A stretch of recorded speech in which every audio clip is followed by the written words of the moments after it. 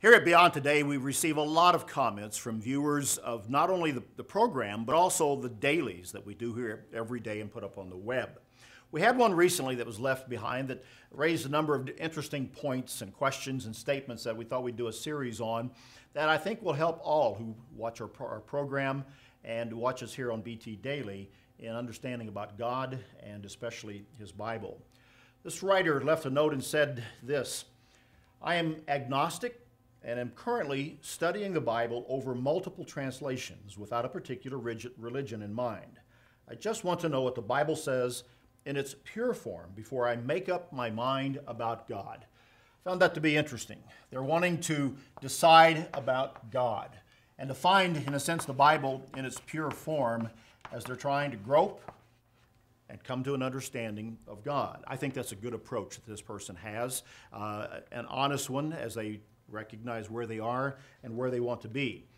The Bible is a book that reveals its author as the one who created human life and created this entire universe and all that is uh, within it.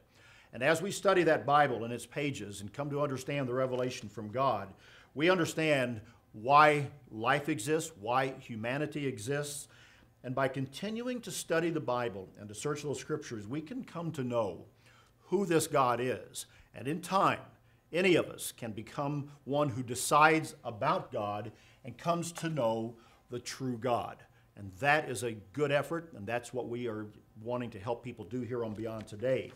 As I said, the Bible shows the purpose for human life. There is a reason that man is created in the image of God. Man is not an animal. Man is not just the highest form of the animal uh, creation. Man is a unique creation, as Genesis 1:26 shows. We are created in the image and in the shape of God, and that message is consistently embedded throughout the scriptures in the Bible. I encourage not only this viewer who wrote in, but all of you that are that are watching us on a regular basis to continue to study the Bible, to come to know the one true God and Jesus Christ, whom He sent to be our Savior. And as you study, it is good to read the Bible, as this viewer says and other modern translations that will, in some cases, bring out the meaning uh, of certain passages in a clearer way. One note of caution, as this person writes, they are looking for the Bible in its pure form. Well, that's going to be hard to do.